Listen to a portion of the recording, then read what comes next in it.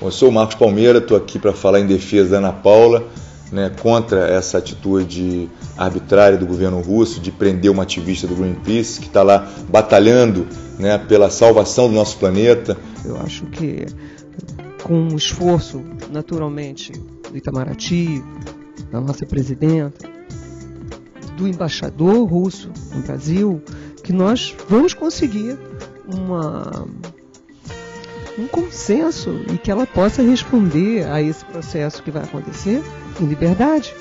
Eu acho que o que é importante que todo mundo saiba é que pessoas como a Ana Paula têm uma vida muito dura defendendo o meio ambiente pelo mundo afora. E é isso que esses bravos guerreiros do Greenpeace fazem.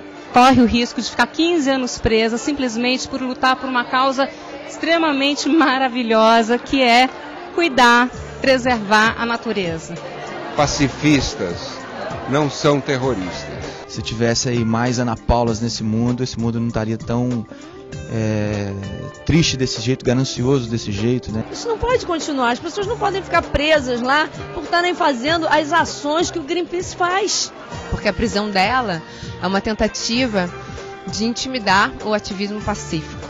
Não é possível a gente ter uma pessoa que luta, enfim, por um mundo melhor, presa como pirata. Tem alguma coisa errada aí. A Ana Paula defendeu o Ártico por todos nós. Agora ela precisa muito do nosso apoio. Você vai ficar aí parado, meu? Faz alguma coisa. Assine você também a petição do Greenpeace. Para mais informações, acesse www.greenpeace.org.br.